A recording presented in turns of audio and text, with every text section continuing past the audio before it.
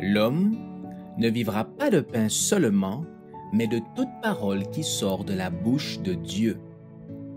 Voici votre moment de méditation quotidienne.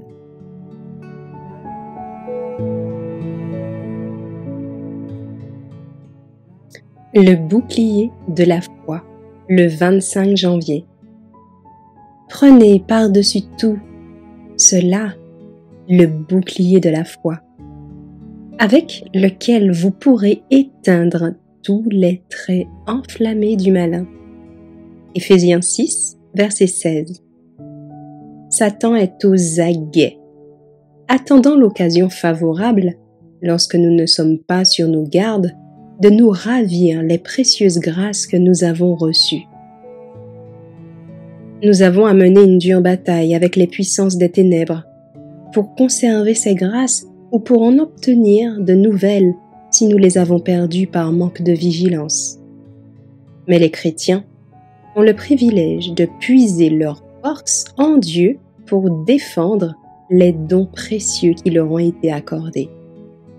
Une prière fervente et efficace est toujours considérée avec attention dans le ciel. Si les serviteurs du Christ se protègent du bouclier de la foi et vont à la guerre avec l'épée de l'esprit, le camp ennemi est en danger. Au milieu des pièges auxquels ils sont exposés, ces soldats ont besoin d'armes solides sur lesquelles ils peuvent compter. En cette époque corrompue, beaucoup d'entre eux ont une si petite provision de la grâce de Dieu de maintes occasions leur défense est réduite à néant par le premier assaut. De violentes tentations les retiennent alors captifs. Le bouclier de la grâce peut protéger tous ceux qui ne veulent pas céder aux tentations de l'ennemi, bien qu'ils soient environnés par les influences les plus corruptrices. Par des principes fermes et une confiance résolue en Dieu, leur vertu et leur noblesse de caractère luiront. Et si le mal les entoure, aucune souillure ne ternira leur beauté morale et leur intégrité. Le mal doit être subjugué par la foi ceux qui entreprennent le combat comprendront la nécessité de revêtir l'armure entière fournie par Dieu. Le bouclier de la foi sera leur défense et leur permettra d'être plus que vainqueurs. Rien d'autre ne prévaudra que cette foi dans le Dieu des armées et l'obéissance à ses commandements.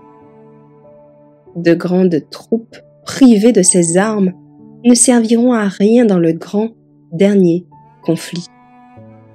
Sans la foi, une armée d'anges ne serait d'aucun secours. Seule la foi vivante les rendra invincibles et leur permettra de rester debout, inébranlables dans les mauvais jours et de garder leur confiance en Dieu jusqu'à la fin.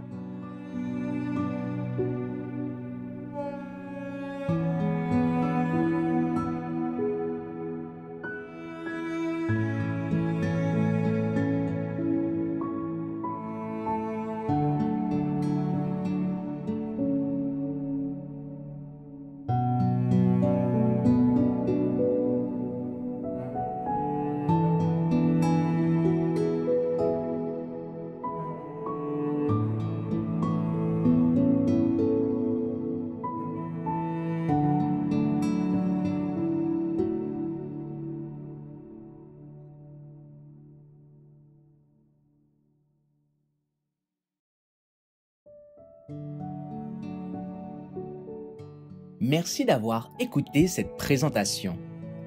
Assurez-vous de nous rejoindre demain pour votre moment de méditation quotidienne avec le reste.org.